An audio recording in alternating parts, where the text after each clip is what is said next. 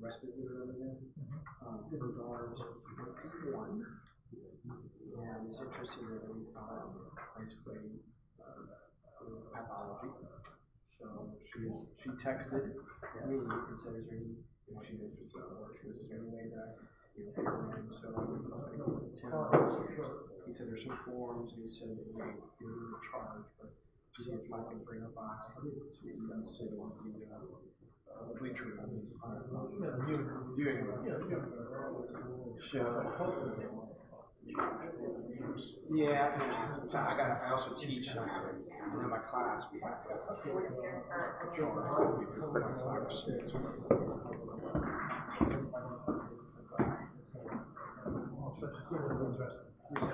Yeah.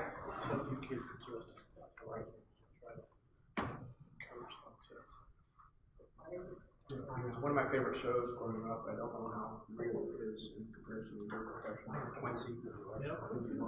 Fairly real, except for like, you get left on the soapbox, part of the other and scream like four dollars. I work with so many people. I don't know. Coming up on a turn or. But, but as far as the science and the medicine, I I get that, it's like, there's a lot of truth to that. Hmm. There really was. With his sidekick Sam. Yeah, that's- yeah, Yeah, you love it.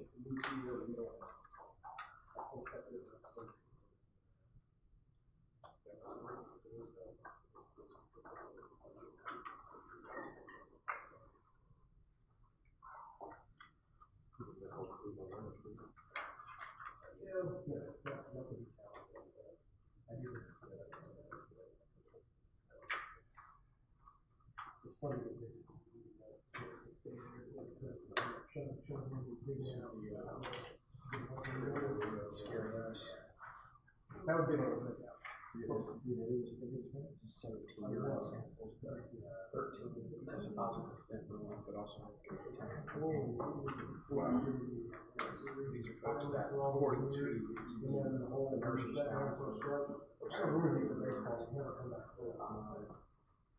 They were, they were, they were known cocaine users, but they were not heavy opioids. Wow. And that's the concern.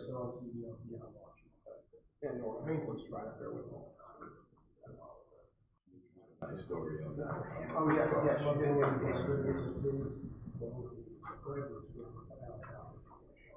So I said that was the same one from Marshall. Yes. Monterey, yes,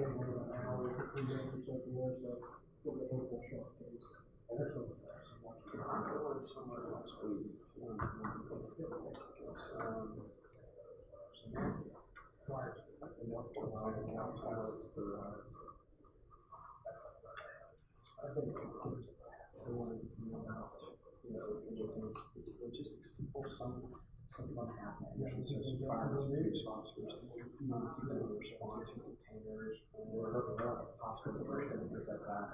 And also, uh, some questions we there's, there's one of the questions, uh, they sent me was, I've been once, here's the problem. When you used to see down, fresh,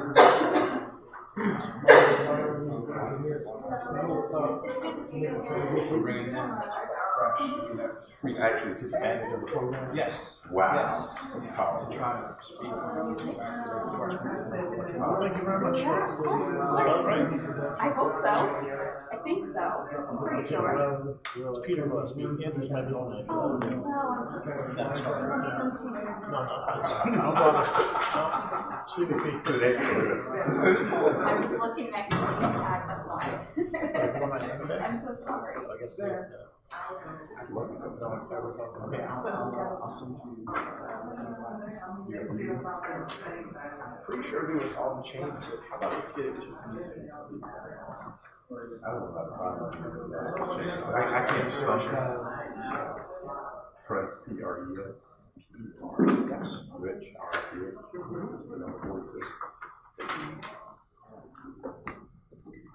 Just, um, um, Well, good evening, everyone. welcome to the Mandarin Branch Library. Uh, my name is Lisa Bugs. I am the coordinator for lifelong learning for the Jacksonville Public Library System. Uh, I'm going to get some housekeeping out of the way. If you need to go to the restroom, it's out the door to the left and an immediate left. Um, if there is an emergency, look for me, tall lady, and I will get us out here in a safe manner, even though we do have JFR and JSO in the house. I just want you guys to know that we usually have a plan, so uh, look, look for us and follow the directions of the people in the uniforms. Um, also, I just want to really thank you guys for coming out tonight. We know it's a weeknight. We know um, that everyone has had probably a long day at work, but we really appreciate you coming out to um, this really important discussion that we're having. I'd like to introduce to you our panelists. Um, on the very end, we have Dr. Peter Gillespie. He is an associate medical examiner for the medical examiner's office. We have Lieutenant Matt Rowley, Mark Rowley. He serves as the data and privacy officer for Jacksonville Fire and Rescue Department and sits on the City of Jacksonville's opioid pilot project committee. Then next to him is Richard Preston. He is a recovering addict of 12 years. He's the author of two books on addiction, including Serenity Granted, and he is the owner of two sober living residences.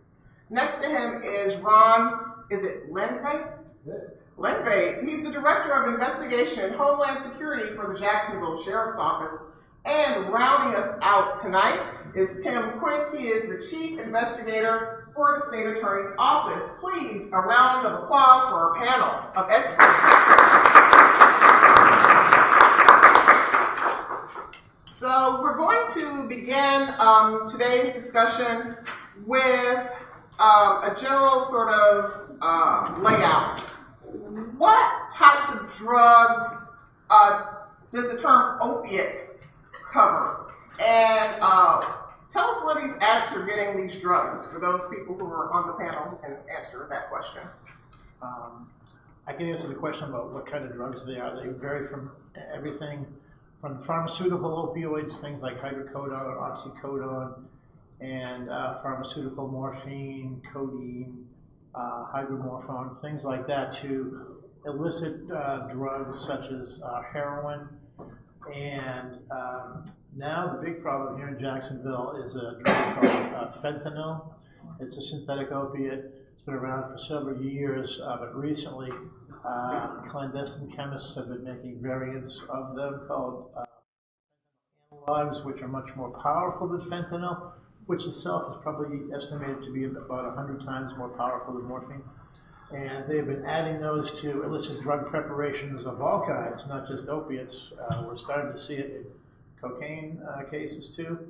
Uh, and those are the um, the drugs involved. Exactly where they're getting them, um, investigators might know better. Um, obviously, things like heroin and uh, uh, fentanyl analogs are illicit drugs. Other things are diverted into the black market from uh, pharmaceutical you know, sources, patients, and things like that. You uh, might know better than I do about that. I'll take where they're coming from.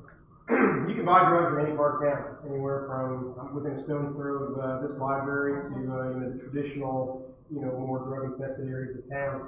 And one of the things that's probably changed is the diversification of the product that they carry. We used to have a cocaine house or a marijuana house, um, things like that. But as I go with our guys, the narcotics guys, when they do search warrants now, it's not at all uncommon to go to a traditional area that sold cocaine and find also in there the diverted prescription pills that uh, the doctor was talking about, to find heroin, um, you know, just a smorgasbord. So if there is a, a profit to be made, a drug dealer is going to sell whatever he can get his hands on, and he's going to be able to make money off of. Mm, okay.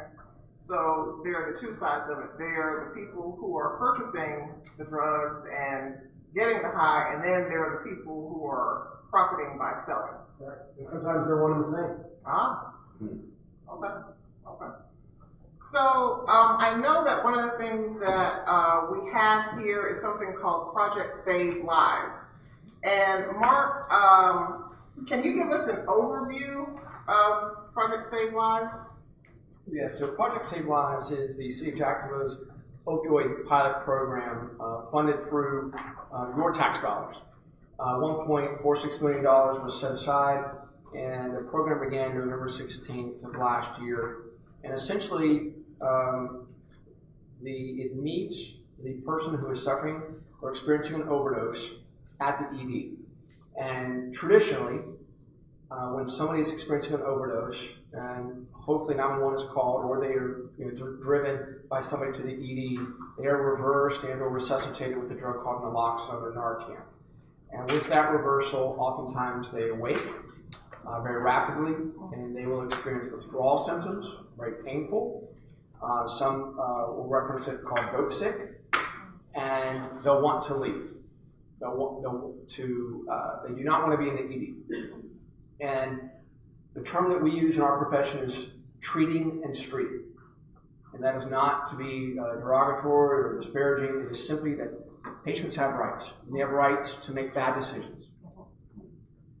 Um, so, what we're doing with Project Save Lives is as soon as that person hits the ED on our stretcher or through, you know, through being driven up, the, there, we have peer recovery specialists, people with lived experience in addiction and recovery to speak that language of the heart, to let them know, I know where you're at. I know what you're going through, and we're going to get you some help. And I'm going to walk you through and navigate this with you.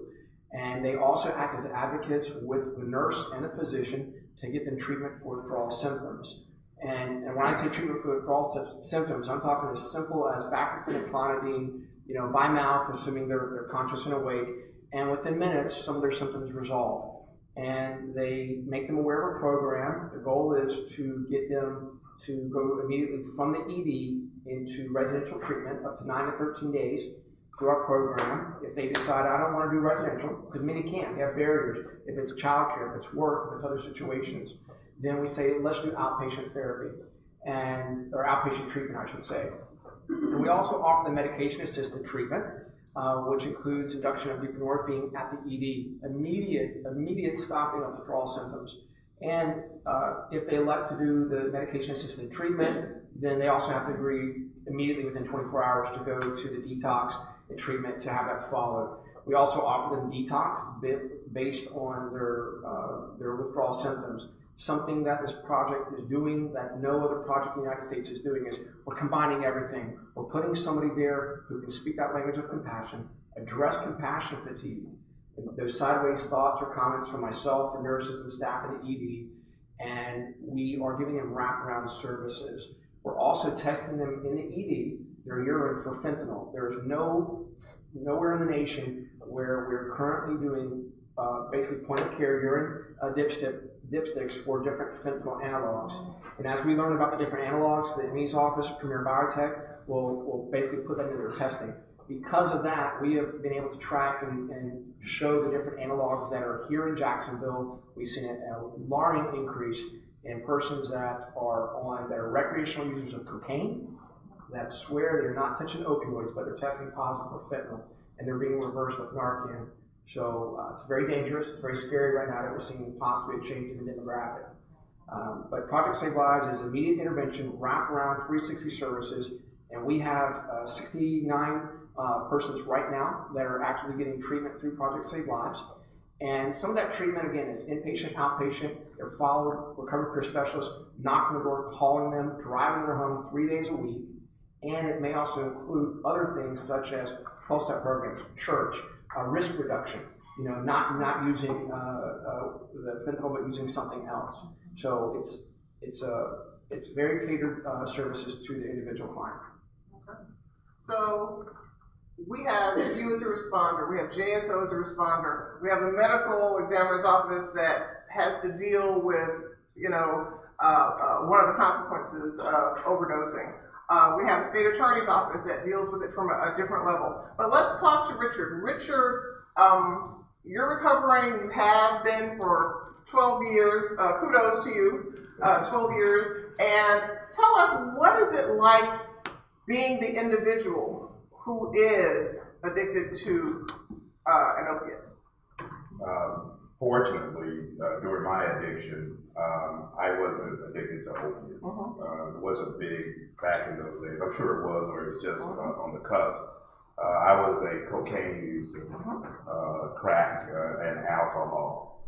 The one thing I can say, back in the back when I was uh, in my full addiction, uh, they used to tell us that crack was the most addictive substance known to man, or cocaine was.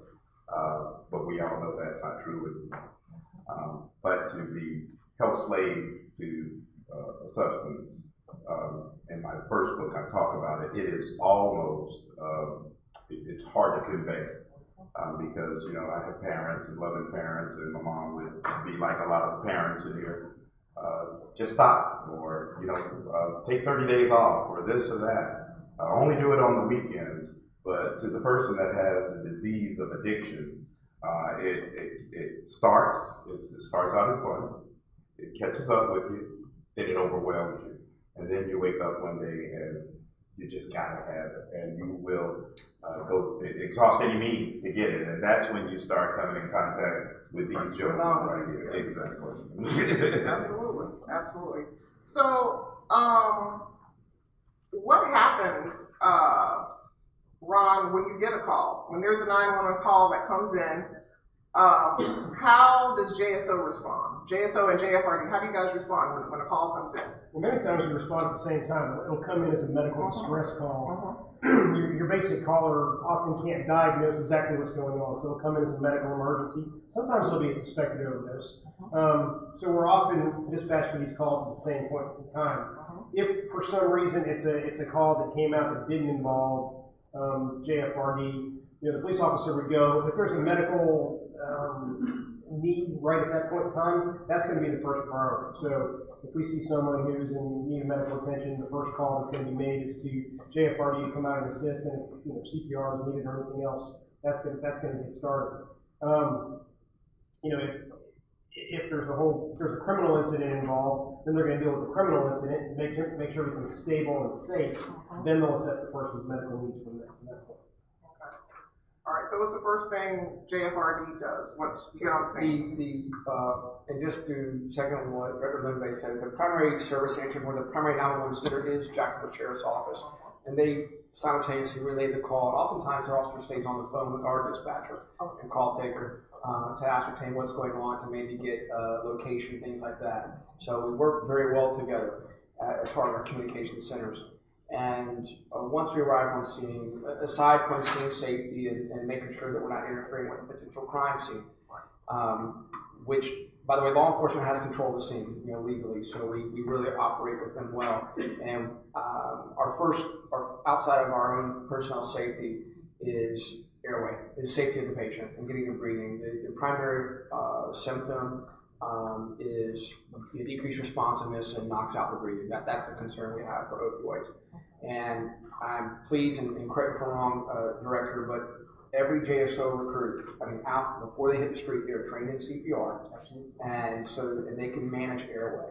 Um, and- and from JSO to JFRD, we can all manage that airway. And so, and they also have AEDs in their vehicles. So we've had several lives saved uh, by JSO uh, prior to us getting here. So uh, we work well together in that sense. But our primary uh, response is, of course, address their airway. As soon as we even believe it's an opioid on board, either through our own assessment of the patient and or what we see on scene, or as evidenced by bystanders telling us what's going on, the obvious needle in the arm, the young man in the bathroom, you know, at, at a local gas station, these are telltale signs. And uh, we go ahead and administer Narcan or naloxone, IV or IM, and usually within you know one two minutes they're responding and awake, and we we still provide them supportive care and transport them to the ED. So, uh, Dr. Gillespie, what effect does opiate use have on the human body, just in general, as a whole? What does it do? Well, in general, it, it, they, they do what they've been designed to do. The pharmaceutical ones is they relieve people's pain and their pain symptoms, uh, but at the same time, they're powerful respiratory depressants. So they, um, they're going to reduce your respiratory rate, uh, which if it gets low enough is going to um, impact your brain, your heart, and your other oxygen sensitive organs like your kidneys and liver a lot. Um, but the respiratory part, really just shuts down, uh, your breathing. So we know that from a physical standpoint, it's keeping us from breathing. Let's talk about another aspect of this that uh, we don't usually think about because when you watch it on the news, it's mostly making sure that people get um, some sort of physical help immediately, but there is a legal aspect to opioid addiction. And Tim, if you could sort of uh, talk to us about the legal implications of people who are dealing in opiates. Unfortunately for the state of Florida, the law changed in October. Uh, prior to that, fentanyl was not a substance that we could charge somebody uh, with contributing to a death. Oh, wow. Somebody died as a result of a fentanyl overdose. You could not charge that dealer with the causing that death. Uh, but fortunately for us, uh, federal law uh, allowed that. So prior to October 1st, we worked with JSO, we worked uh, two cases with Clay County and uh, one with Jax Beach what is causing death is fentanyl. So we took those cases to the federal uh, court in, in Jacksonville. We have currently have pending five cases with seven defendants, um, and the victims died of the fentanyl. After October 1st, that law changed. Now we can charge somebody, say Florida, for state statute, with causing a death. Now, are the folks who are being charged, have they also been selling other drugs? Like, are they also people who are selling cocaine or selling marijuana, or is it strictly So, like what I mentioned earlier, the house, I think the one we did recently, was a plethora of, of narcotics in the house. Uh-huh. I hit one with our guys prior to that, JSO did the, uh, uh, knock and talk and hit the door for us, and we Mhm. did the, uh, the inventory, the powder cocaine, there was, uh, heroin in there, there was some crack in there, firearms, a large amount of cash. I think you all have that in the house as well. So, so the other thing. And I think a lot of times, we've seen this, is the dealers think they're selling heroin, not knowing it's laced with fentanyl. One of the recent cases, I believe was your case, Ron, that the dealer is adamant that he's only selling heroin. He, he swears he didn't have fentanyl, uh, but FDA came back and tested it, and it was pure fentanyl. So a lot of times these dealers don't know what they're doing, they're selling poison, or they're selling loaded guns, is what they're doing to people, and, uh, uh, results are deadly.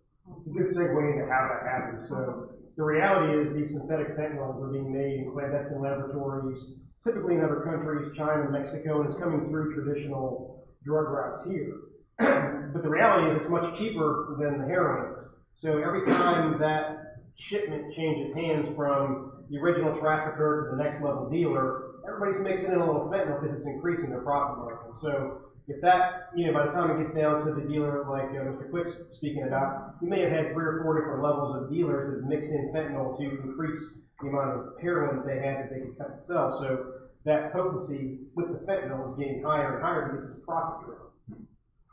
If I could add to the danger to law enforcement, a lot of guys, our guys who are out there buying this stuff, is that it just takes a small amount of fentanyl uh, to, to absorb through your, through your fingertips so that you get healed. And it's deadly to the, law enforcement as well. And we don't always know what we're coming in contact with. Um, it's all the way. Yeah, we, we had a policy change recently in regards to that. We did some research with some labs, and we actually have a, in our property and evidence room, we don't field test powdered substances at all in the field now. It's just too, too dangerous, either to get them, open them in a, in a vehicle where it can get in the circulation system, or if you're out and testing something on the hood of a car, and a breeze comes by, getting that into your respiratory system can be instantly, you know, dramatic for you.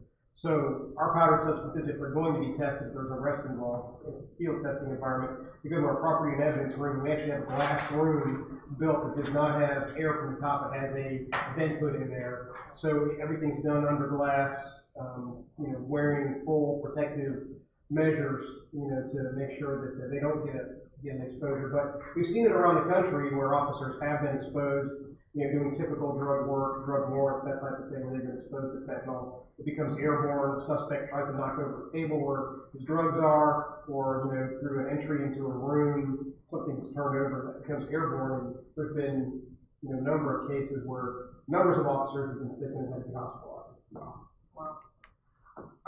Dr. Gillespie, how has the epidemic in Jacksonville affected your work in the medical examiner's office? Um, well, it's, uh, it's increased our workload, uh, quite a bit. I was just looking at the numbers here, um, just for the, um, the first six months of last year, we don't have this year's numbers, but in, in those first six months, we had almost hundred and fifty cases of deaths involving fentanyl, just fentanyl. And that's a tremendous amount. Um, if- you look at the whole year's cases, we're doing almost three thousand autopsies a year. And that's about five percent involves heroin. That's a tremendous amount with just fentanyl. So, um, there are days where we've had nothing but, uh, drug intoxications. Uh, it's gone down a little bit. It seemed to have spiked around early to mid 2017, and it's come down a little. But now, as the gentleman said, we're starting to see mixed cocaine, fentanyl uh, cases, things like this. So it's really just put a tremendous amount of, of pressure on our available resources. I mean, it's, it's hard to, to get them all done sometimes. In 2016, Jacksonville ranked number two. Uh, this is the IME's, the state IME data, but number two in fentanyl deaths, just under uh, West Palm Beach, Miami. Wow. Second to Miami only. Think about that. Think about that. We are second to Miami. Um, so the public has expressed an interest in, is it, how do you pronounce this? Naloxone? Naloxone.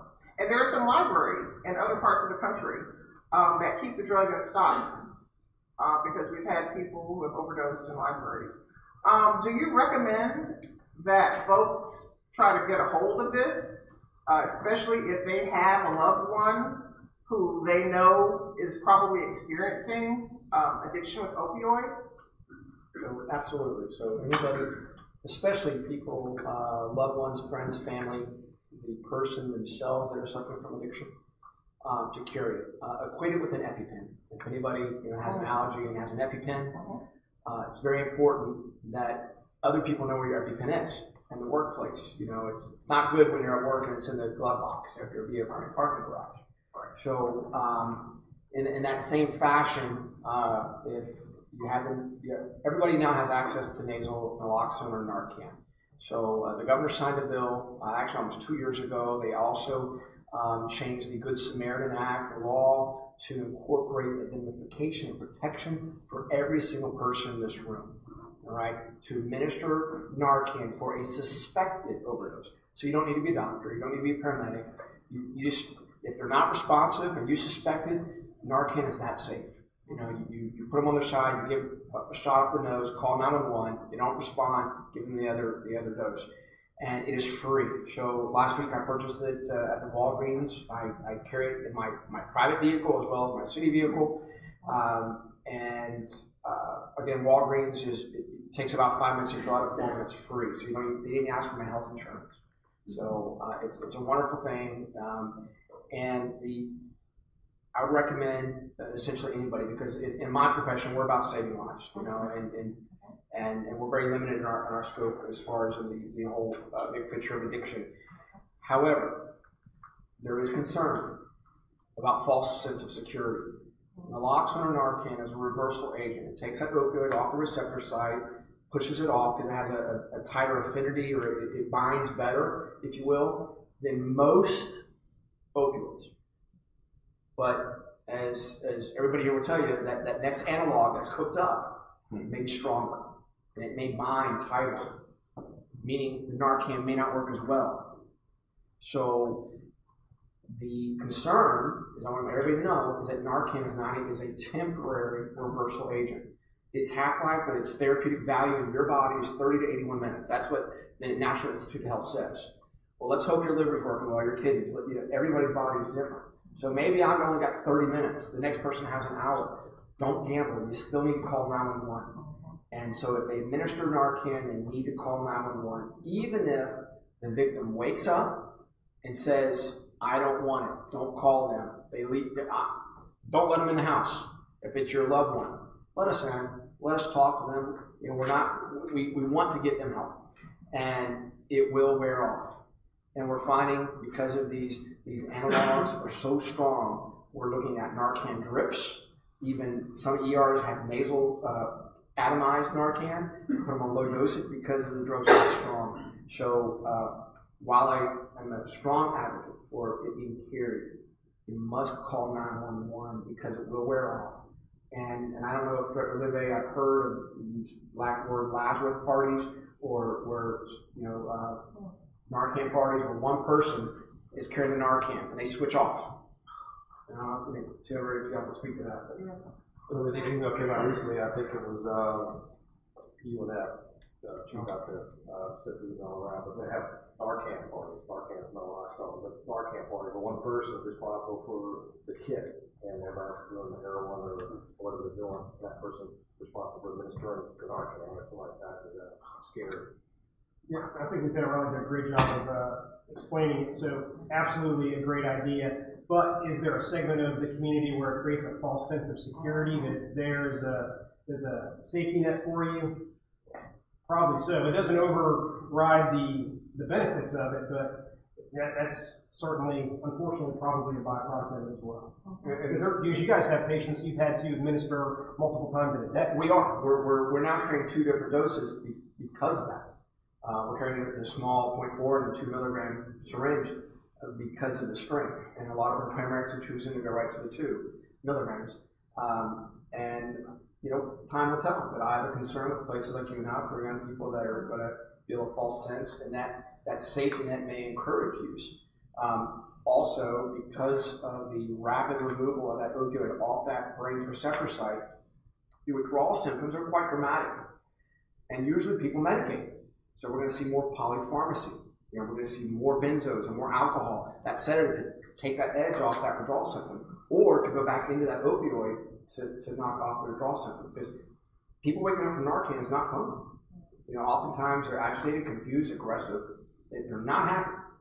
So it's, there's a concern. And if I, if I could, Lisa, Yes, uh, I've also, uh, partnered with, uh, Drug Free Duval. And I, uh, oversee, I, I co-chair the Northeast Florida Opioid and Heroin Task Force, I mean, uh, Education Committee. And in our ever-ending quest to bring awareness and education to this epidemic, folks, uh, we actually go out to workplaces, we go to agencies, and we hold, uh, training classes.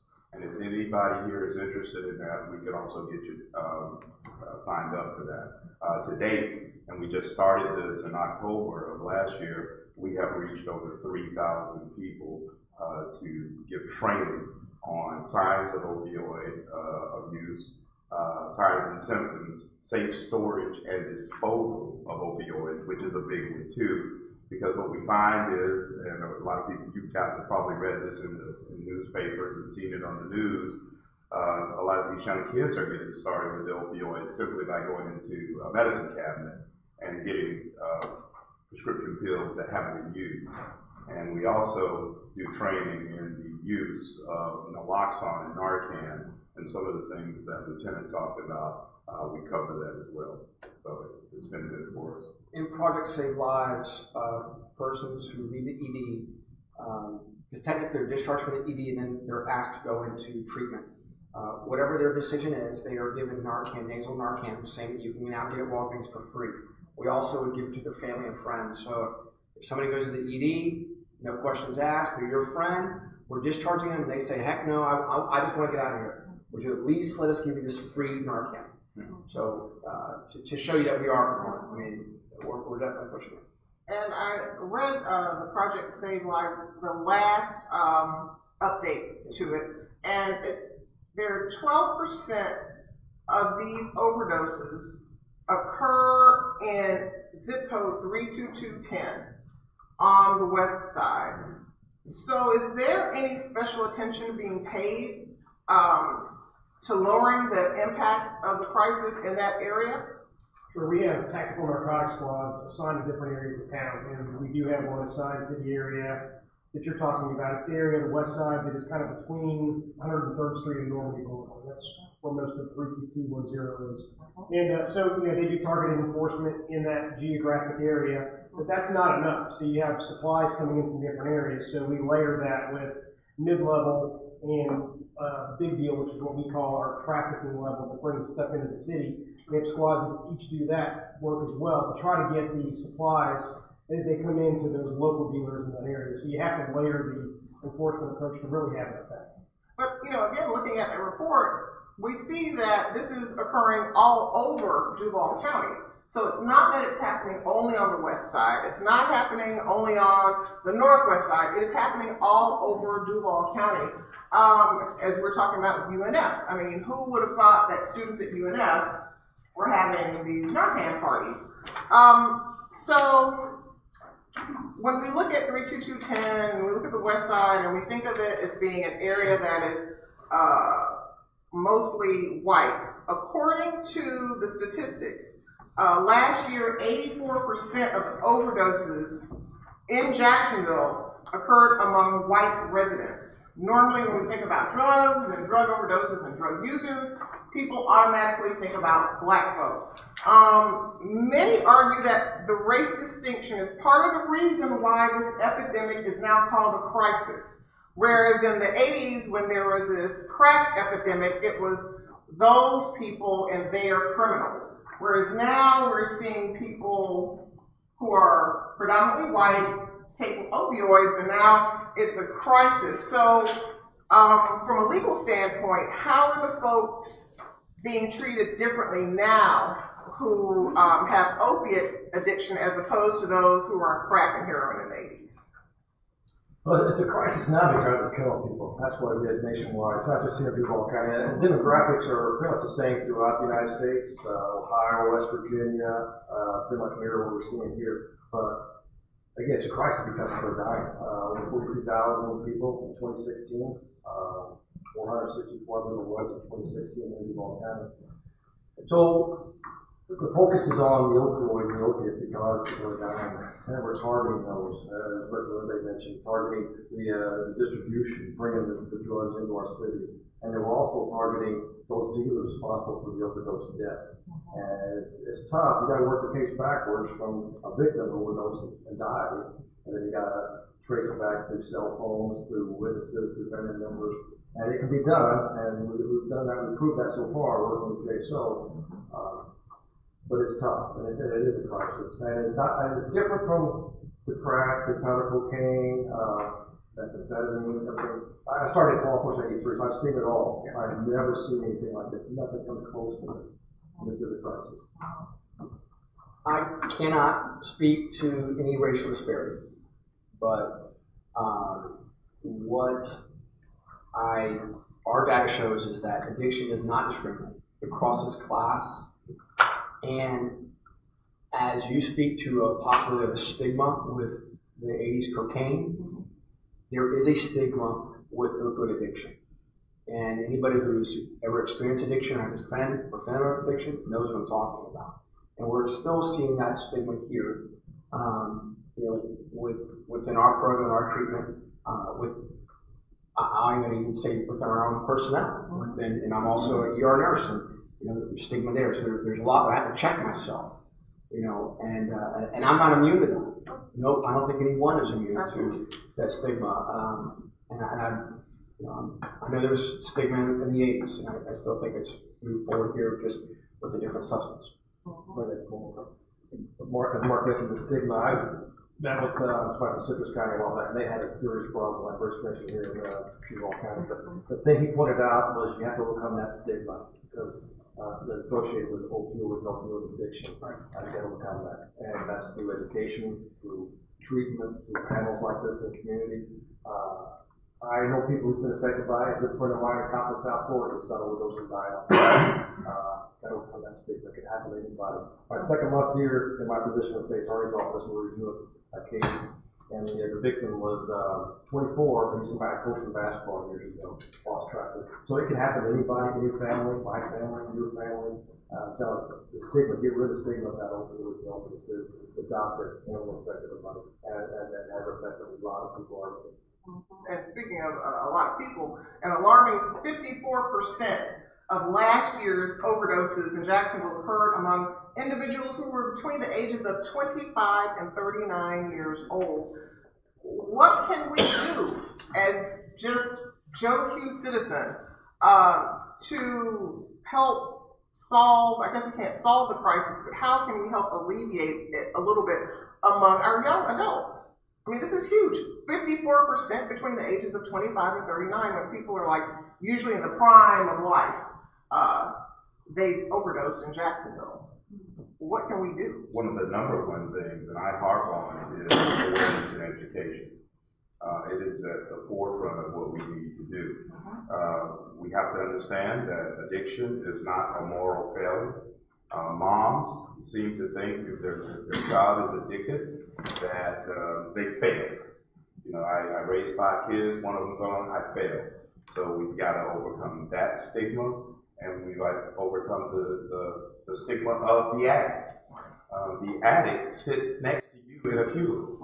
The addict is in your church. The addict is everywhere you go. A lot of times when I'll have a group therapy, I go to AA or NA, that room is comprised of all ages, colors, race, sizes, you got it. And these are places, and I always tell the guys, we probably would have never crossed paths if it wasn't for our addiction. And, and the running joke is, you know, crack, bringing people together. Uh, alcohol, bringing people together. Um, so awareness and education and breaking down that stigma. It is amazing today, folks. I may go talk to somebody and tell them what I've been through, and you know, it's it's one of the common things to say, and I guess it's the right thing to say. Is you don't look like an addict. Well, I'm an addict. Trust me. And what does an addict look like? Everybody in this room. So when people like Prince or this or that, uh, when we find out that those people are addicts, nothing surprises me. Nothing. It could be one of these guys in blue, one of these guys in white, doctors, lawyers. It does not surprise me because I've sat in rooms with them for years hearing their story. I think Mr. Preston makes a great point. Excuse me.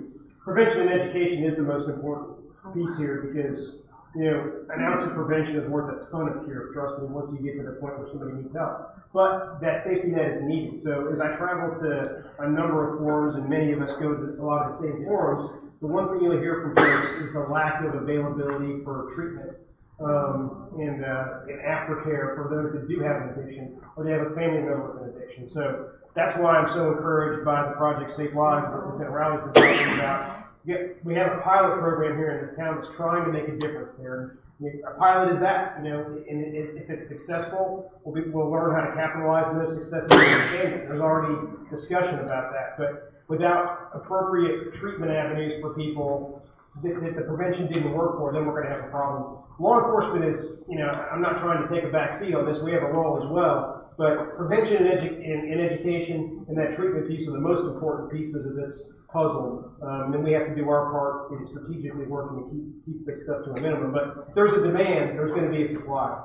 That's just basic economics. But uh, prevention and education, and then treatment options for folks that do have a problem. And that seems to be the biggest failure right now, whether it's mental health or substance abuse treatment. There's not many options for people in the community. Something um, I encourage us all to remember that uh, this evolved over time, and there is, in my personal opinion, there's not one finger to point at one individual or one agency or entity.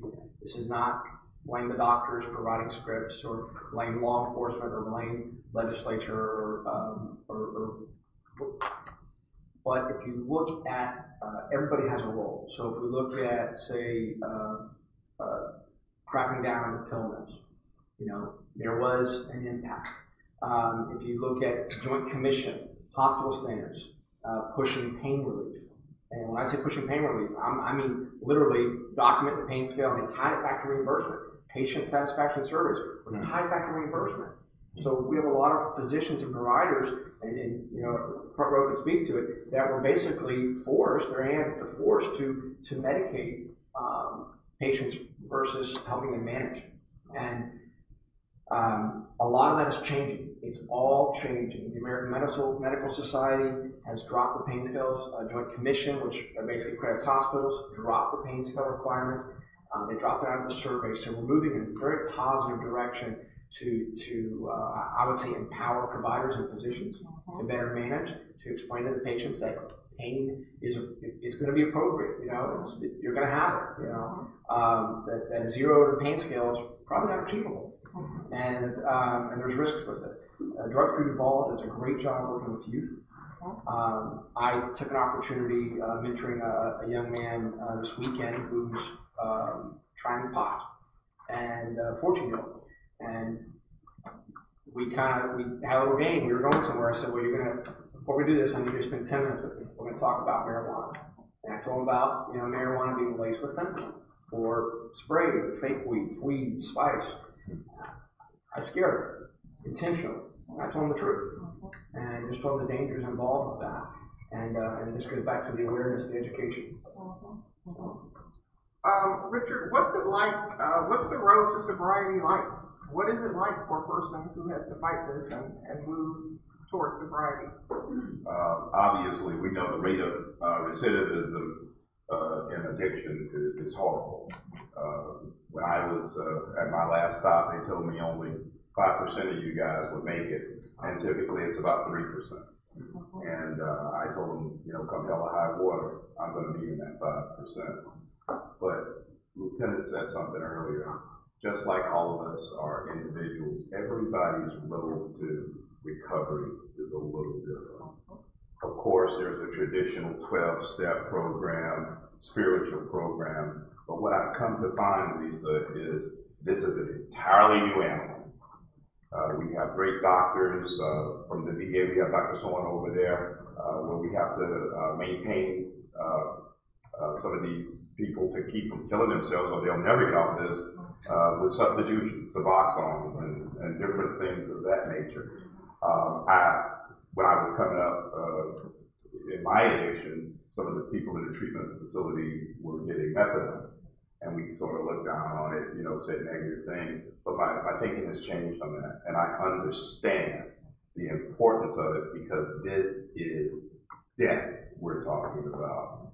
Um, it's amazing. I, I was uh, listening to uh, someone on TV the other day, and they were weighing marijuana opioids, and this guy was one of the most staunch conservatives who said he would never relent on marijuana and stuff. He says, you know, I'm down with it because there has never been in the history of the world, according to him, a death associated with marijuana use, uh, which blew my mind. But I brought this picture to show people this is what addiction will get you to, and this is me 12 years ago. Um, kudos to him for talking to that young man before you get to the point of being addicted, Lisa because once you get addicted, that talk is no good. Uh, so kudos to you. Good job. I mean, and then you're just uh, really reinforcing what Tim said because no one's ever seen anything like this before. So this is unlike any other drug addiction that we've seen before.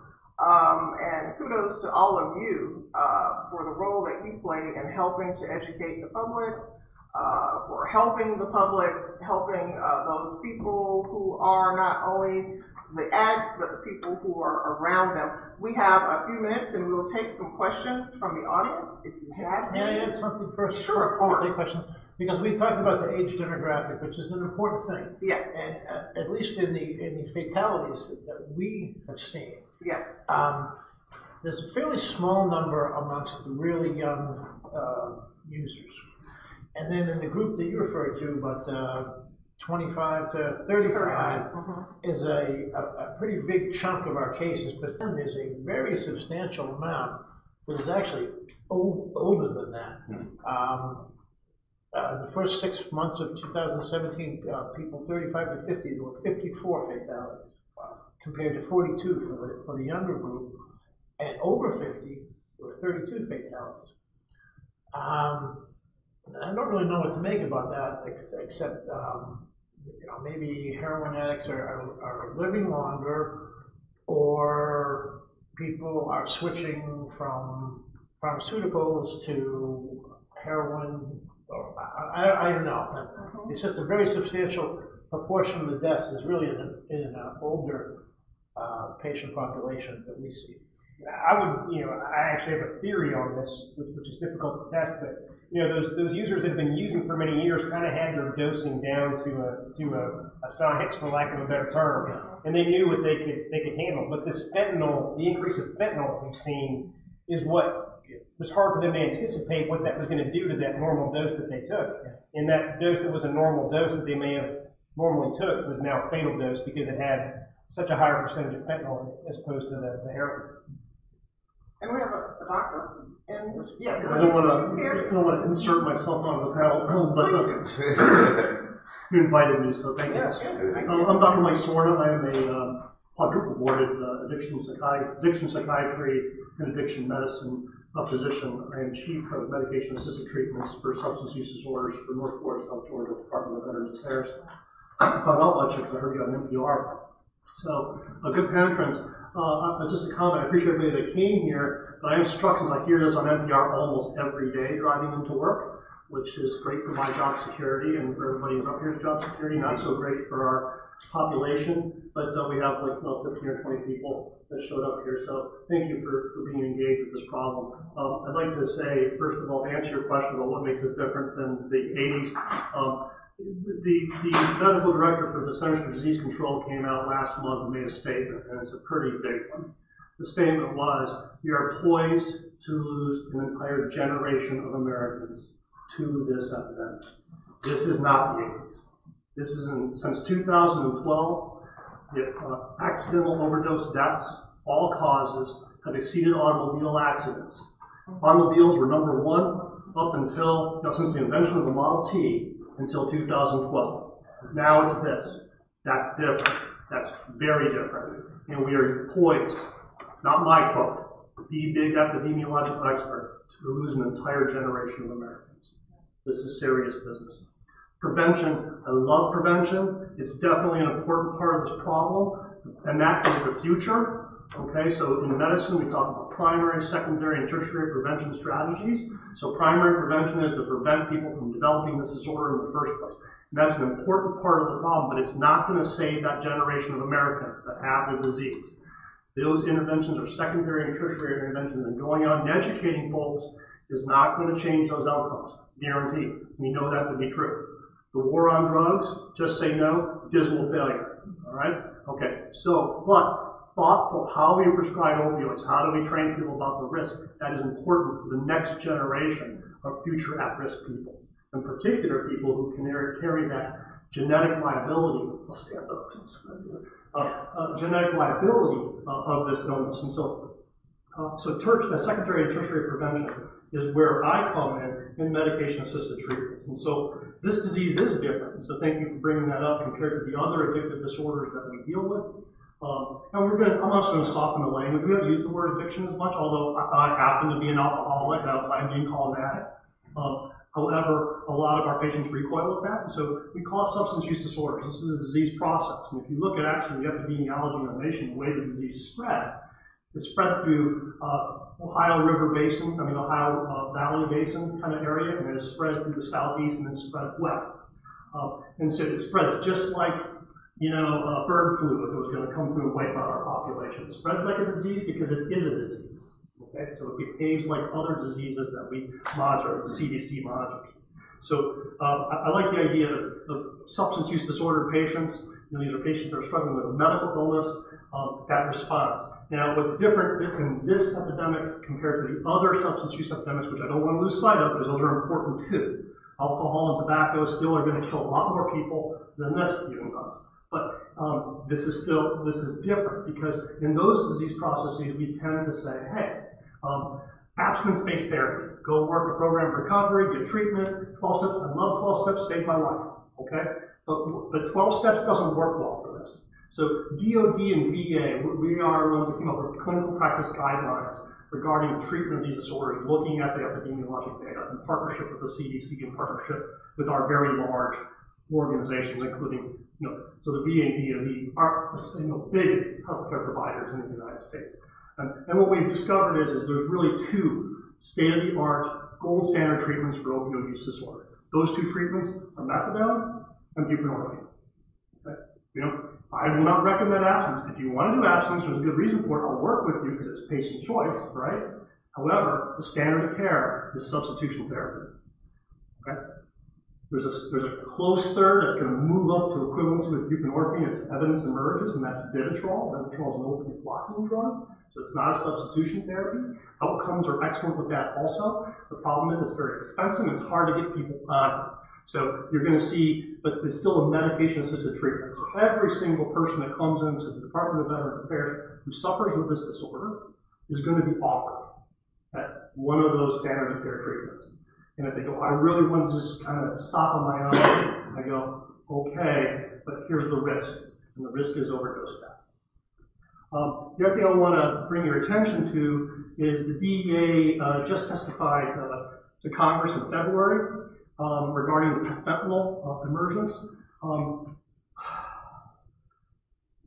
this epidemic is interesting in, in many ways. First of all, we're going to see a shifting of demographic because of the cocaine. You're going to see more African Americans dying from this illness pretty soon and pretty fast, which is alarming because that population previously seemed to be relatively protected. That protection is no longer there. Um, much is true for other uh, for other demographics that are currently being represented. This disease will spread to other demographics, I guarantee you. Okay. The other issue is going to be uh, is what people think they're doing. Right now, I don't know what the numbers are, maybe our colleagues can answer this, but I know what, what the DEA testified to Congress about in February is that there's a huge emergence of counterfeit oxycodone, hydrocodone, Xanax. Okay, I got people who have overdosed thinking they were getting Xanax. They look just like two milligrams antibars, and they're fentanyl. Okay, because what's happening is as as the medical profession has gotten better about not, not prescribing these medications, it's not palatable to the um, drug user to go to powder heroin. Okay? Because I don't do heroin. They draw an intellectual boundary. I do oxycodone, except it's no longer oxycodone. It's a, they got pill presses, they can make the pills. It's hard for a pharmacist, they can't tell the difference. The only way they can tell the difference is send it to a lab and find out it's better. So here's what I say, I'll tell everybody. I don't borrow medicine from anyone. I don't care who I think you are, okay, or how, what your status in the community. I don't borrow Tylenol, okay? Because a lot of the prescription pills out there are probably fentanyl. And here's the other thing that people do. They don't store their stash of their uh, oxycodone or supposed oxycodone tablets in an oxycodone bottle. They empty out the Tylenol bottle and they pour their pills in there. And then you go and say, hey, can I borrow Tylenol? And they forget what they have in that bottle and you're about to have an overdose. Okay? So I control access to my medications. I would encourage you to do the same. Trace elements of carfentanil and butyrylfentanyl and um, are all in the community. You have that data. Um, these are more potent than naloxone. Naloxone will re- reverse it at 0.4 nasal. I guarantee you, you won't wake up. Okay? Because we're going to have to use 2 milligrams. I'm glad to hear you're doing that, and even higher in the ER. So you may not get rescued. And you may not even know, you may, assume it's not an opioid overdose because they took a Xanax, what they thought was a Xanax, and it's actually an opioid overdose. So this is a problem, and we need to, that's we do need to educate people on this because really, like my kids, you know, in the community, and they go to their friends and say, "Hey, I got a headache. Can you give me something?" It could be the last Tylenol they ever took. So be safe. It really is that dangerous out there. Agreed? Does anybody disagree with any of that statement? All right. Agreed. I'm serious. It's like playing, playing Russian roulette. Just a few grains, a, a carfentanil overdose is a grain of sand. That's how small it is. So if, even if that powder is in the pill container and it gets on the pill that you get, it may be enough to get you because the people like my son or my daughter or me, I'm opioid naive. So it takes much less. Just a small dose of somebody else's bad decision making, and it's the end of my life. And so uh, it sounds gloom and doom because it's pretty gloom and doom. When we have the CDC saying a generation of Americans, that's the fundamental difference. And it's going to require partnerships of everybody that's up here and everybody that's in this room. And yes, what can you do? Well, last year estimated $220 billion in lost revenues, estimated cost of loss of life, and all of the rescue law enforcement services, medical services that have to go to address the tertiary prevention of the person's overdosed in the ER, not the overall cost. And so when our representatives in government say, hey, we're going to give $10 million to the state of Florida to solve this problem, cost is billions. We're talking billions. And so if we, we really need to talk to people that control these purse strings as a community and say, you know, yes, it's great that we all want to participate and we all give a lot of time, uh, our own time to advocate, but we do need material money in order to attack the problem in a meaningful way. And how that's going to save lives is, is making sure that the evidence-based treatments are available. And that's Project Save Lives. Awesome project. I'm not affiliated. I hope to be affiliated in the second uh, portion of this. But the key is, is getting them access to that evidence-based interventions, in particular MAT, so we can get those people on track, save the people that are already in trouble, and hopefully prevent the next cycle. That's my editorial. Thank you. Thank you, we appreciate you. Um, and, uh, to sort of springboard on what you said, Project Save, Save Lives has, is going in the right direction. Absolutely. They are seeing a decrease, uh, in folks who are overdosing, uh, there's a decrease in the recidivism that you talked about, uh, Yes. too, Richard. I mean, it's a wonderful project that's going in the right direction, and hopefully, uh, as it continues, we'll see it replicated We throughout the will- country. Uh, next week, City Council will vote on the extension of Project Save Lives with the same dollar amount. We're under budget, which is a good thing. Uh, in government, wow. Uh, so, well, and so we're looking at extending, extending it, and uh, for the 32210, we're reaching out to Park West, which is right there on 103rd, and going to try to bring the project there and to Memorial on the south side. Make sure your representatives are aware that that project's important and that we, as taxpayers, are willing to fund these sorts of projects. We can't shoulder all of the burden, but, you know, if you're here, I suspect you might be interested in saying, hey, I'm willing to have some of my tax dollars go to do that. Oh, and one other thing about uh, prescription medications. Uh, we know this from uh, large-scale surveys of the United States. We have a very good idea of where people get their prescription tablets illicitly. Does anybody guess where they get it most often? Friends and family, 80% of the time. So this is what I mean, you can't tell. So, oh, I borrowed some oxycodone from my dad, who couldn't get enough from his doctor and bought some from someone who got it from the drug dealer, and it's actually fentanyl, right? So that's how it gets out there. This is why you can't buffer yourself. Well, I'm not going down on, I'm not going out to Normandy Boulevard going down to the guy that's sitting on the corner. I'm getting it from, you know, a friend that I trust. Well, good luck with that. Because what we know is 85% that's how it's getting to folks. And, and, and really is dangerous. And so you know get your doctor get your medications from your doctor. Take them as prescribed. Uh, don't get them from friends and family. And teach your teach the people you love about this about the risk of it So prior to tonight's program, did everyone in the audience know that you could be affected by the dust of this medication? Like, did not know until you shared that with us. So it is unlike anything we've seen. Do we have any questions from the audience for the panel? Yes, sir. State, I've been in pharmacy for twenty-three years, my doctor for the last ten years, you know, um, obviously put on, you know, prescriptions down, they don't work four hundred percent.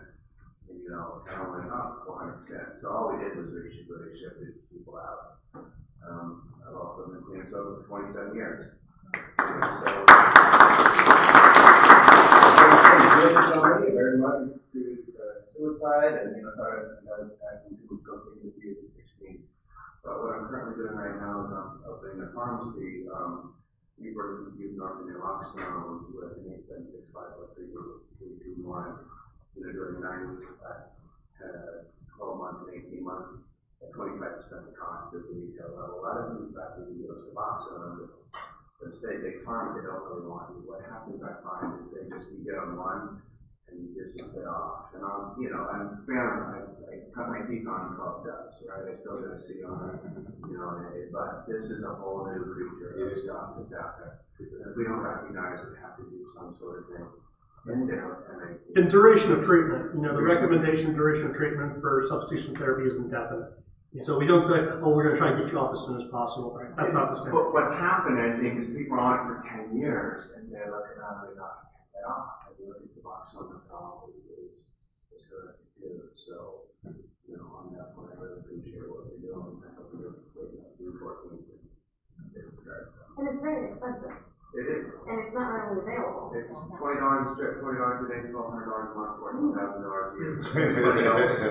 who's in with their. That's branding. What's the, what's the generic cost? There is no generic box on. That's not true. That's all I have. On the in strip, on the strips. No, on the strips, but there's generic sublingual tablets. That's all I have in the DA. Who's, who's doing those, but really it's strips is what's, a lot of the doctors are writing for. Mm-hmm. You know, kind of that, and so a lot of people are being relatively uninsured, that's just really expensive, heroin is cheaper, and you get really good Suboxone.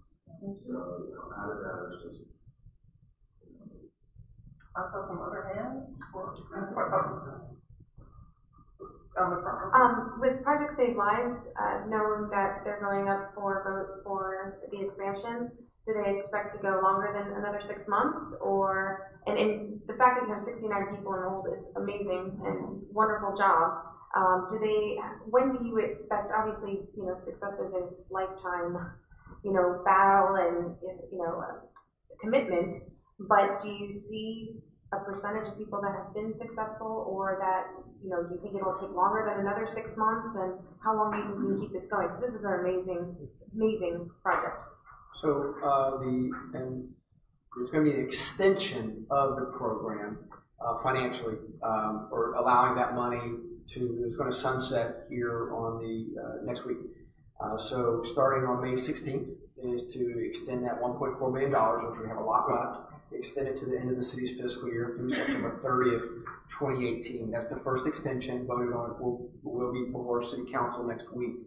Uh, there will then be uh, a plan for another extension, because we should still have more money left, to run it through the city's next fiscal year, October 1st, 2018, and 2019, September 30th.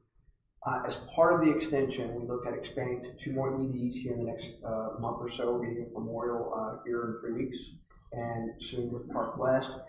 The second phase of the extension hopes to bring on more EDs, more emergency departments, hospitals, as well as we just had a symposium to, and a lot of the treatment providers showed up at the symposium that UF Health hosted. And to uh, the goal is that we need beds. You know, the goal is from the ED, they're ready to go, and we need to be Johnny on the spot um, to get them to treatment so that we can get these uh, recovery treatment centers ready to accept these patients.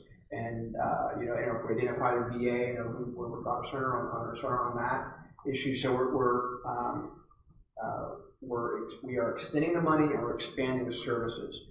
Um, and as far as recidivism, um, uh, what the president said, uh, out of the 69 that I know they're involved, I only know two that we have responded to for repeat overdose.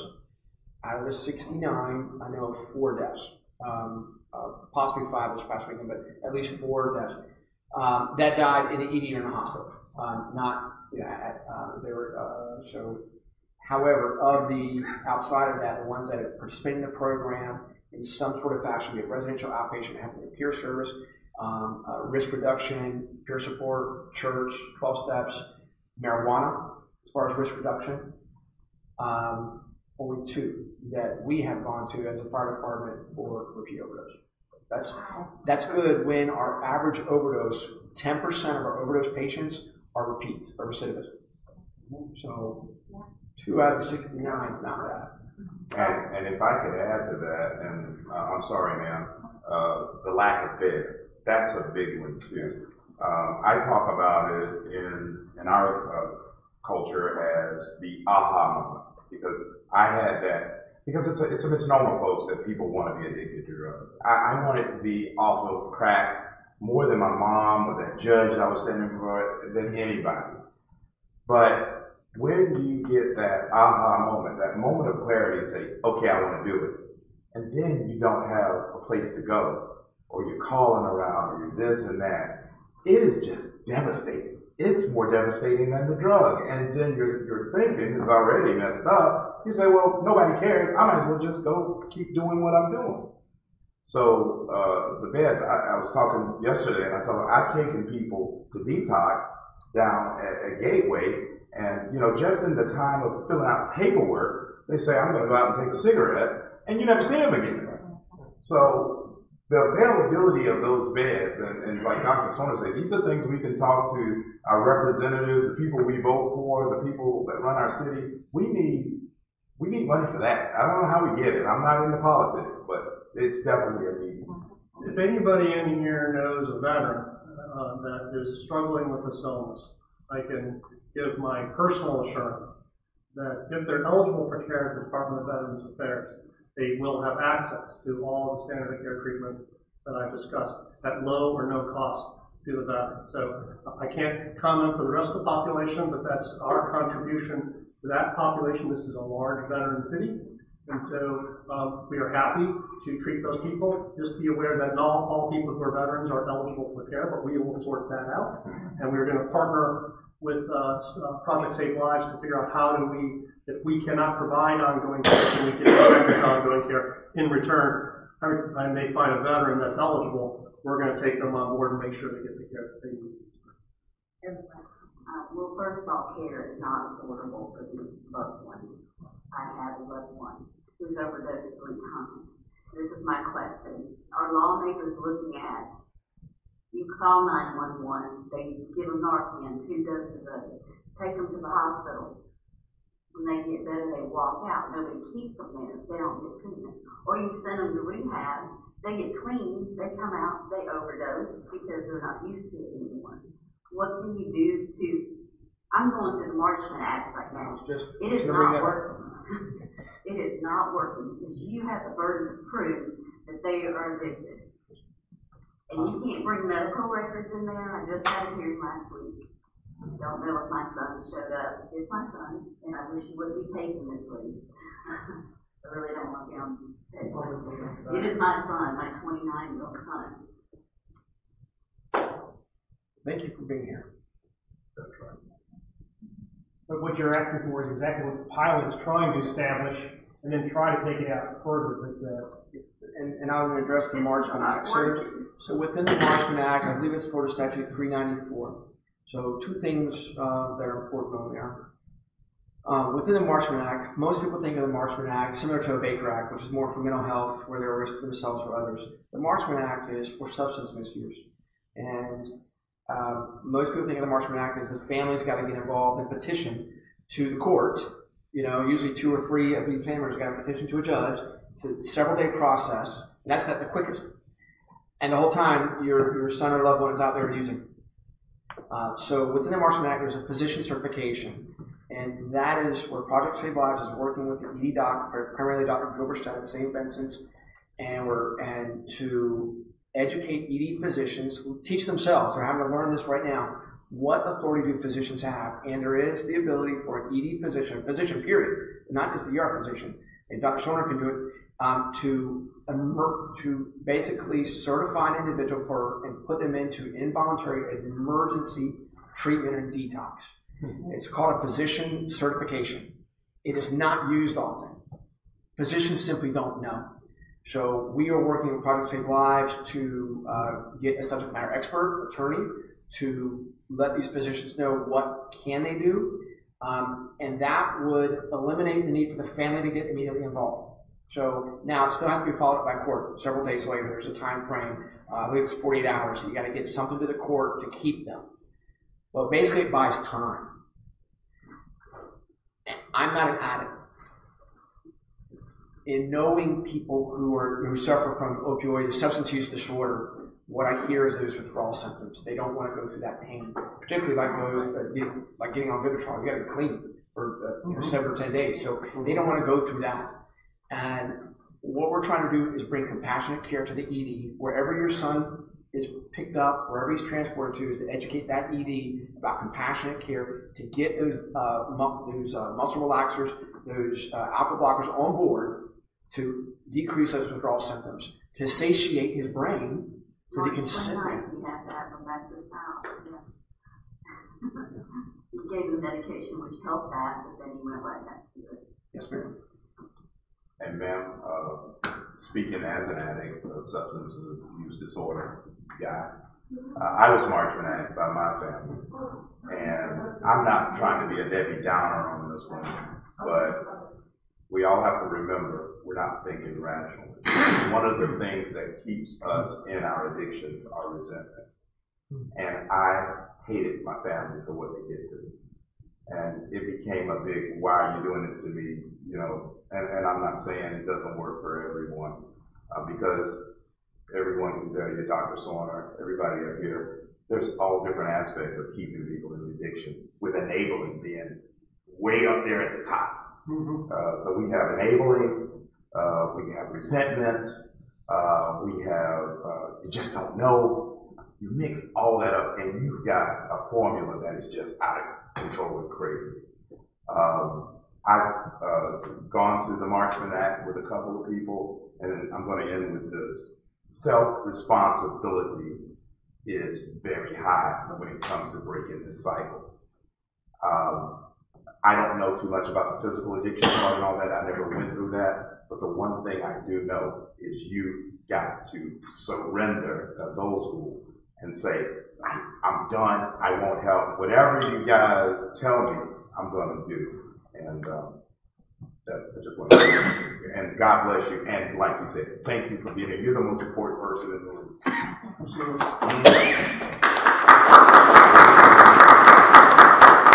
My experience hope to you would be, um, uh, I work in the field, we talk a lot about compassion fatigue. It's, it's fatiguing. You know, we have uh, many patients that do very well. We have patients that have uh, bad outcomes, uh, including death. And, um, unfortunately, it does take a buy-in by the individual ultimately, even to engage in these medical treatments. But what I can say to you as a person that works with uh, patients who struggle with this illness all day, every day, is that I have had patients that I thought weren't going to make it, they had multiple relapses, multiple times, but we just keep trying, keep trying, keep trying, and then one day it works, and you hope you beat them, you know, in regards to, uh, you know, getting before the bad outcome happens.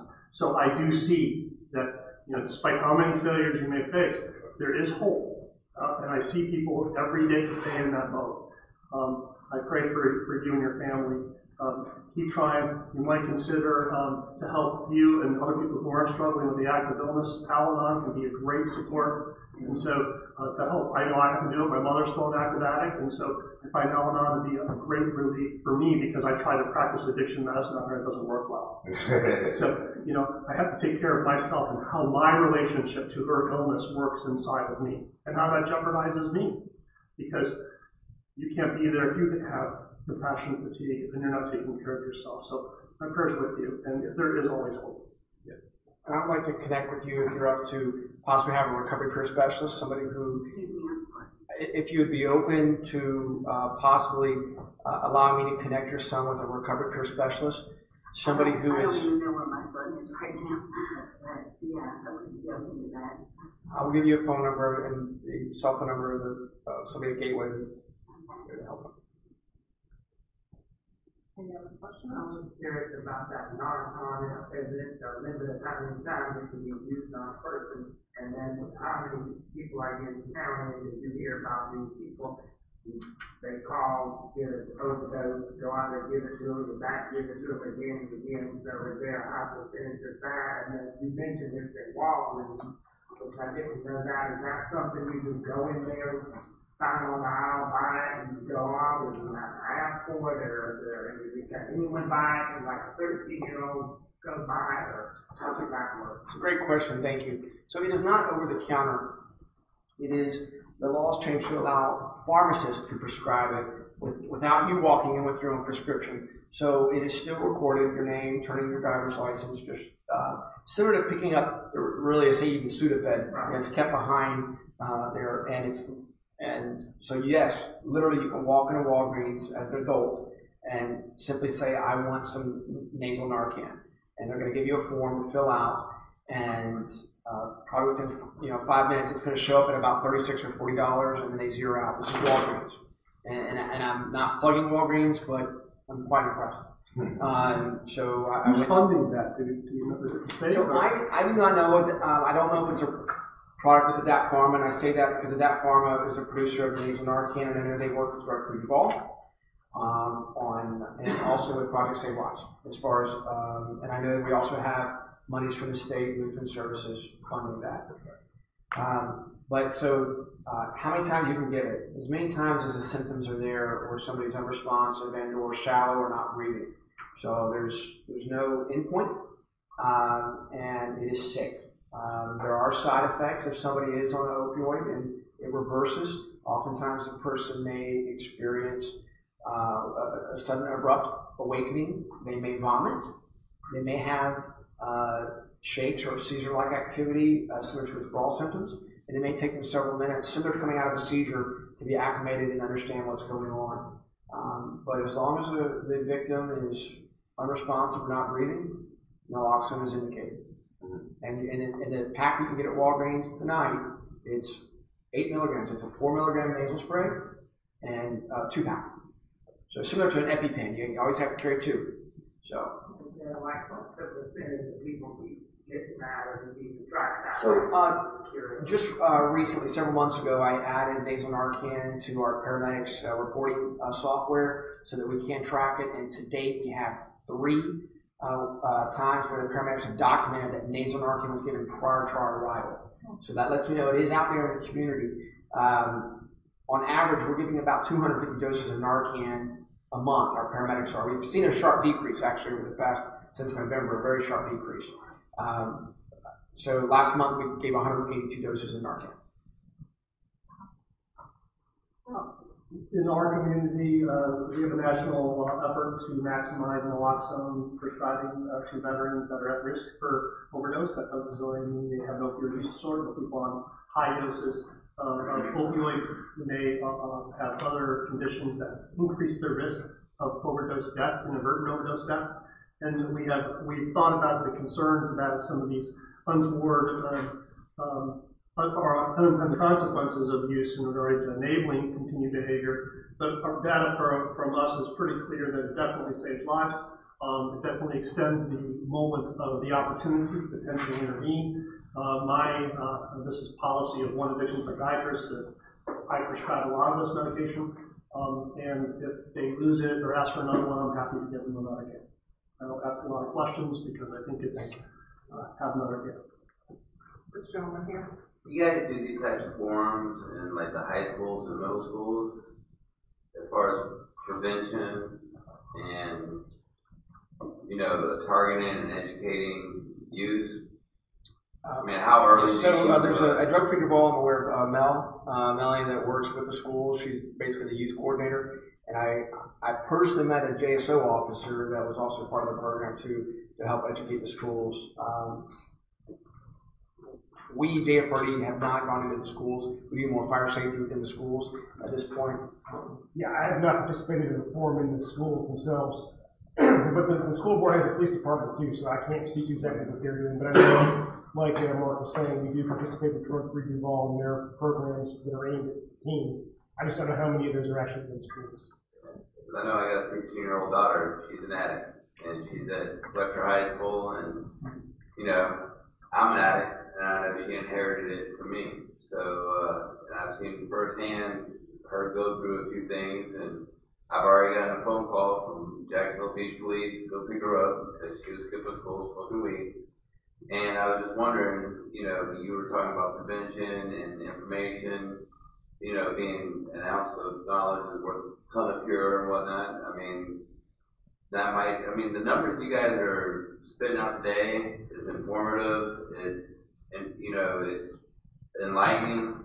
It's something that's grabbed my attention where before I was uneducated in, in a few areas. Now I am educated. Um, a lot of high schoolers may or may not listen, but those that do listen, you know, word spreads by word of mouth, and it could possibly work or help Great point. There's another organization out there, everybody heard of the Derek Hatcher Foundation. Yes. Uh, good group. Uh, Derek's mom was the one who was uh, in the community, going to schools, uh, talking about the dangers of opioid abuse. Uh, Derek Hatcher, unfortunately, died of an overdose uh, two years ago. He's a football star uh, locally. Uh, uh, the heart still aches about her, but she's she's turned a bad situation, trying to make a, a good out of that. She's trying to educate the community. Um, the website, go to that, learn from that, and schedule from the school. Um, and, and if I could add something else, uh, to that, there is a program through Drug Free Youth and it's called Expert, Export. I, I'm not good with the acronym, so, uh, I'll give you, uh, my phone number before you leave, and I'll get you in touch. Uh, I'll get more information about it, and it is, uh, awareness for middle school. I think it starts in middle school, six through nine. We were just up in Tallahassee, uh, a couple of months ago, and we talked to a lot of the representatives and the senators about that. And that bill did pass. So there's something going on with that. Uh, I don't want to give you any wrong information, but I guarantee you I will get you the information. And if I could, this young lady right here, uh, Cheryl, uh, I don't want to butcher her last name, uh, but she's on the front line too when he brings up Debbie Hatcher. Uh, she has a, a story I won't, uh, if she wants to share it, uh, that will be her. But uh, she's on the cutting edge of this too because of something that was, didn't have a great outcome. Yeah, I lost my husband about, it'll be almost nine months, a couple of weeks now. And, um, we were voiceless for so long. So I feel like I need to be a voice for those that do not have one right now. And as you said, education is key, and that's what I can do is help raise awareness as to what, you know, the family and the picture of an addict actually looks like. And it's not typically what you think it might look like. And um, I, I wanted to make a comment because I think this report is phenomenal because I've been doing a lot of research. It is and, and I'm, it's alarming, especially knowing my husband is one of the numbers on here. Um, but is there any thoughts about putting something like this together for like the hospital? I know the medical, the state of Florida has, you, you mentioned that we were number two for deaths with fentanyl, uh, next to West Palm Beach. And the medical examiner has a, a great report too, broken down. Is there any thoughts on doing something like this for the hospitals that are actually, obviously you're transporting them to the hospital, but there's other. There's people- difficulty with the hospitals. The hospitals do report through ACA, and also there is a, uh, like a repository. I'm, I was trying, to think of the name of the, the software, the program. And UF uh, Health is part of Project Save Lives. They're tapping into that resource, and we have um, a, a term called healthcare economists, basically that look at the impact of different ailments um, financially, and of course that, that garners the hospital's attention when you talk about economics. Um, the problem that we are seeing right now in coalescing the data from the hospitals are uh, billing codes or ICD-10 codes. They're basically classification codes that the physician has to select based on the diagnosis. And um, oftentimes there are I think it's 30,000 or something ICD-10 codes. It recently upgraded about two years ago from ICD-9 to ICD-10. Anybody in healthcare understands the nightmare of picking an ICD-10 code. I mean, for substance uh, use, there may be several hundred. You got to keep drilling down, drilling down uh, to whatever the substance is. And oftentimes, when the patient presents to the ED, they may be there for other ailments. They got in a car accident because they were using drugs. So they have a traumatic injury, which is ICD-10 code to their ankle, their left ankle. They also have substance misuse. My point in that is uh, the data is very different, and there is no one standard, no one set of who's coding this, what this physician decides to code. This physician just decides, you know what, I got to get out of here. I'm clicking the first thing I see. The other physician may take their time and drill down. We are addressing it. Dr. Gilberstadt is trying to work with providers. Our data from the hospitals is so skewed because of that. Yeah, I couldn't find really a lot of information online that was pretty particular because my research, when I'm going to be speaking about this, I need to make sure that I've got the correct data. So I'm not speaking on that, but um, from the medical examiner's office and the CDC, there's a lot of information, just not a lot in the hospitals. CDC's had points on this. Uh, this, this data that we know of is alarming. This is not uh, a rep, a, the whole amount. You ask anybody who uh, spends a lot of time, they have no idea how actually big the problem is. Uh, but it's much bigger than this very scary data would indicate. Because if you end up um, being coded for death as respiratory failure, um, and with the medical examiner officers throughout the nation being overwhelmed and having their own cost constraints, we, we lose capture on a lot of things that were actually overdose deaths that we, we may not know. And so uh, it's, it's a bigger problem than even the data would exhibit, but the data is enough for us to act, is kind of how I think about it. Would you agree with that statement? Doctor? Yeah, I would. Is there anything that we left out of the conversation tonight that you would like to make sure that we all leave with? Uh, when we're getting out of here tonight, what do you want to resonate with us? And Tim, we'll start with you. Uh, the biggest piece is education, awareness in the community, we kind of all addressed it locally here tonight, uh, overcoming stigma of the addiction, it affects everybody. Um, we've all seen it, you know, overcoming the stigma, educating the community. Uh, the state attorney's office, we know we can't, uh, prosecute our way out of this problem. We, we play a small part in that, like a three-legged stool, prevention, treatment, enforcement. So us and JSO, uh, we have the enforcement piece. We also play an active role with the prevention and treatment, uh, work with Coach Ball, uh, Gateway. So it's a team effort that's got to come together as a team, uh, to solve this problem. I would say don't be afraid to talk to those that represent you at the state, uh, federal level about the need to increase access to meaningful treatment for folks. As I travel um, and, and go to these forums, that's typically the number one topic that comes up. Um, folks that are willing to share is they have a loved one that they're having, even when they have that moment when they're ready for treatment, they don't have anywhere to get them. And uh, that's it's heartbreaking to hear that. from folks. Richard? I would say get involved. Uh, there's nothing too little that you can do. Um, passing out pamphlets, uh, helping um, the ladies at Drug Free Duval. Um, everybody helps from the top doctor, Dr. Gilbreth, Dr. Pomm, uh, medical examiner's office. Uh, everybody is a vital cog in uh, helping this epidemic.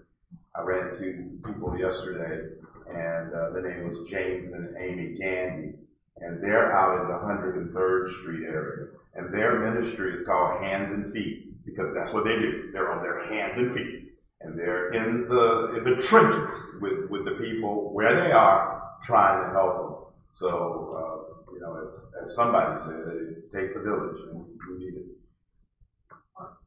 Um, as I, I think Richard alluded to, uh, simply telling somebody who's suffering um, deep in the, deep in addiction or opioid use, substance use disorder, uh, saying no, saying stop it doesn't work. Uh, in that vein, uh, what I would encourage and ask is for anybody who is using drugs, don't do it alone. Um, not to encourage drug use, but don't do drugs alone give yourself an opportunity to live. Um, and uh, consider getting Narcan, letting uh, knowing where the Narcan is in the house and wherever it is, but simply don't do drugs alone. Dr. Gillespie? Well, unfortunately, I see the end result of of all this, but I think that what I've learned about it is that, uh, first of all, it's a very dangerous time to be a drug addict or a recreational drug user, and that margin of safety is so small with these substances. It, it's just, it's much more dangerous uh, than using cocaine or using, you know, using alcohol or anything like that because it's so unpredictable. You don't know what you're buying, you don't know what you're getting, and um, I mean, we see tremendous like increase throughout the whole state of Florida, actually. Um, it's just it's just too dangerous. Dr. Soren, our uh, sort of honorary panelist. yeah, I appreciate it. I, I'm excited that you guys are doing this, and, and you know, like that's why I heard on the radio and diverted to, to over here. So um, I appreciate uh, this meeting. I, I would piggyback. I, I really think that this is a community-based problem, so it's going to require community-based solutions.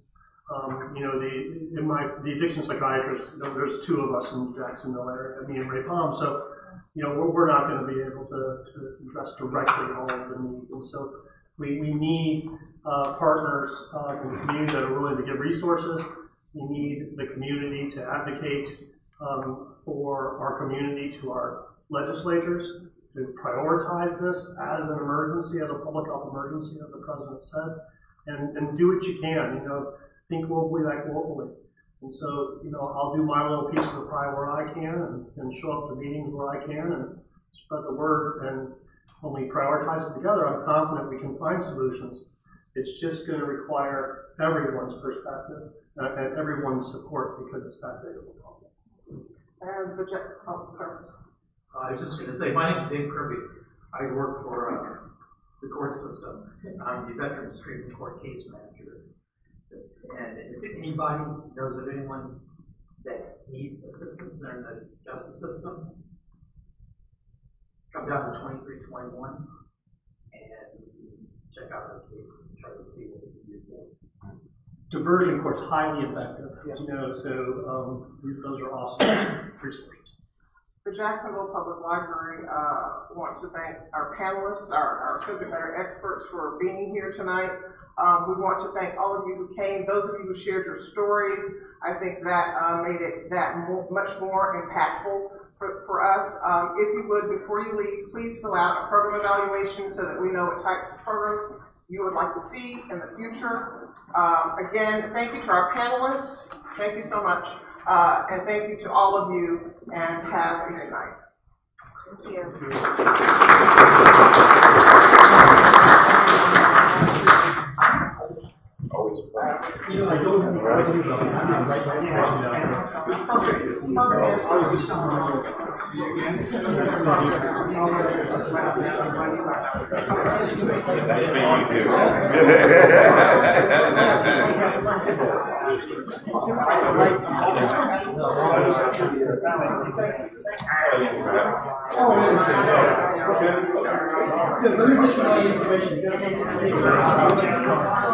That's me, Thank you so much.